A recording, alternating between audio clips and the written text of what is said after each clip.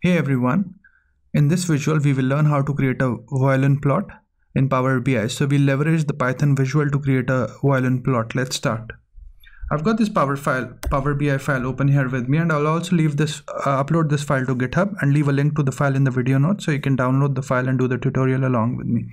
So I've got uh, one page here and essentially what I've got is the sales amount by calendar year and I'll just do a control C and control V. So I'll grab that data set and then I'll just click on the Python visual to convert it into a Python visual and you can see that it gets it creates a data frame with sales amount and calendar year which is the values we've got on the right hand side and that then it removes the duplicates. So we'll just write the code. So we'll say import Seaborn.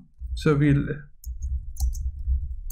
and then we'll import another package called uh, matplotlib.pyplot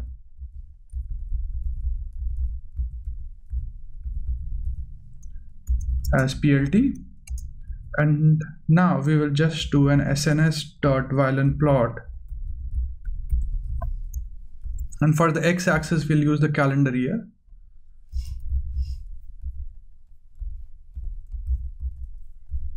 And on the y-axis we'll use the sales sales amount. Sorry about that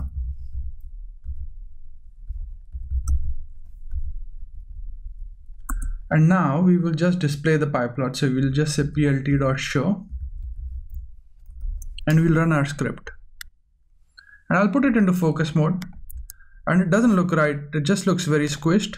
And it's it's probably because over here the sales amount is still mentioned as a sum. So we'll remove that and we'll just say don't summarize and we'll also look at the calendar year and that is already don't summarize and you can see that it's changed. So we've uh, created a violin plot for the various sales amount by calendar year. Uh, so in this video what we've done is we've learned how to create a violin plot using uh, in Power BI using the Python visual. I hope you find this video useful and thanks for watching this video.